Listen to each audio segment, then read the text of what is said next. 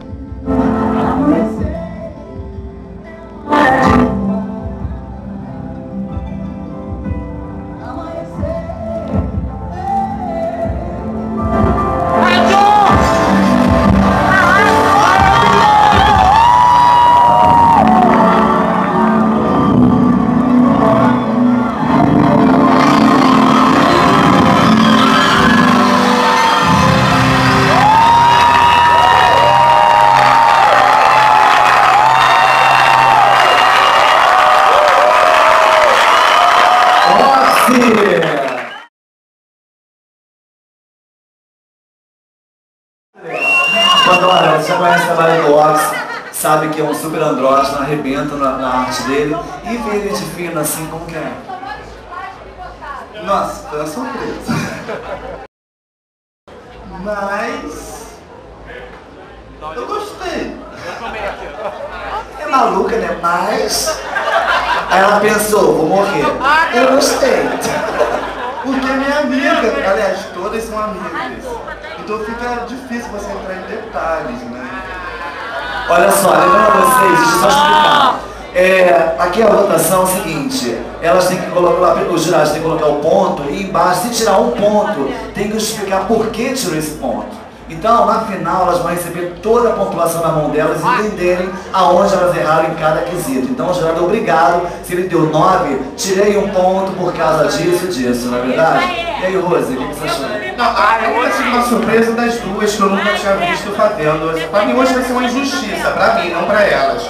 Porque pra mim é uma surpresa as duas. As outras duas eu já conheço, embora de repente não seja um desafio, as outras duas podem pecar em alguma coisa.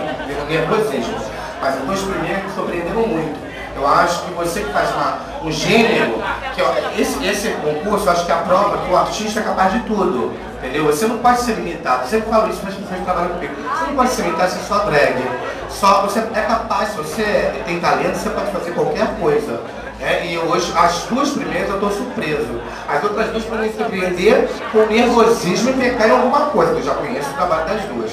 Mas parabéns às duas primeiras. Arrasou! Roxy!